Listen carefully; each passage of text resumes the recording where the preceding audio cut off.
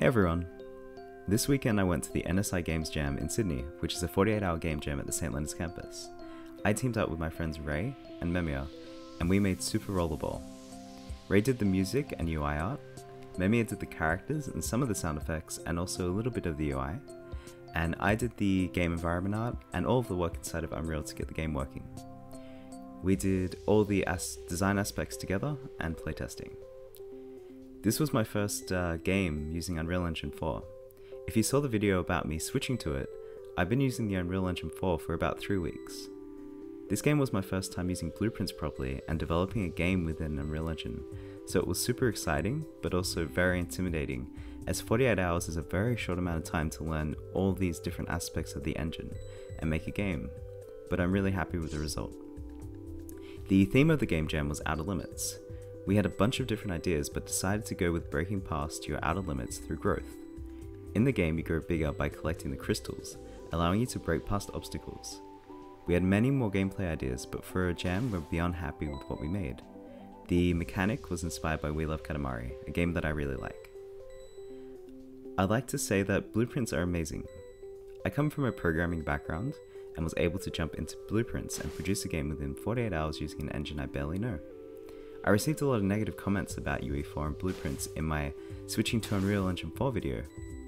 Now that I think about it, I believe a lot of these comments come from people who haven't used Unreal to make a game, because I had 48 hours without any prior knowledge, and apart from understanding some very basics about blueprints, um, I barely messed around with them, and I was able to make this.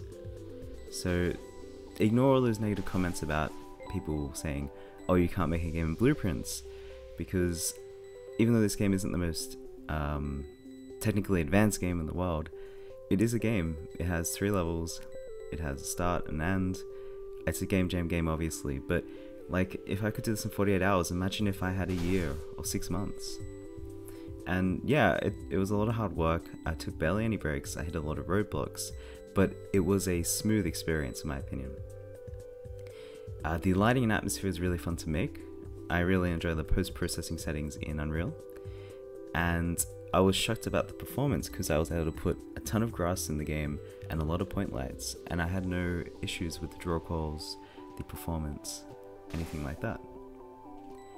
The level design was inspired by the 3D Mario games and the concept of four step level design, but I had to tone it down a lot because I only had I only had so much time to make all the levels. I actually only had part of a day to make the levels because it took uh, most of the 48 hours just to get all the mechanics working and to polish them. So in level 1 you learn about the crystals, hazards and movement. It's a safe area and it teaches the player that they can break through the red uh, spiky balls if they're big enough and get damaged if they aren't big enough. They also learn that the crystals make them grow and it's great because you only have these two elements to interact with. Level 2 expands upon the concept by challenging the player with their skills and movement. They have to navigate areas and move in between the big hazards whilst overcoming the smaller ones.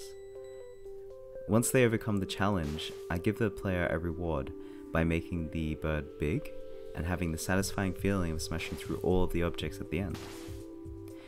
And level 3 is more of the same as level 2, just with a different level layout. Um, I made this level with 40 minutes left in the jam, so it was super stressful to get in, but I wanted a minimum of 3 levels. I'm really proud of what we were um, able to accomplish over the 48 hour jam. I really wasn't expecting it to be this much. And after using the Unreal Engine for about 3 weeks and developing a simple game in it, I'm really happy that I switched over. And if you ever felt like trying out the engine, it's not as big or scary as people make it out to be. And at the end of the day, the most important thing is that you're having fun and enjoying game development. If you'd like to try out the game, it's available on itch.io. And I hope you got something from this video. Thanks for dropping by and checking it out, and I'll see you in the next video.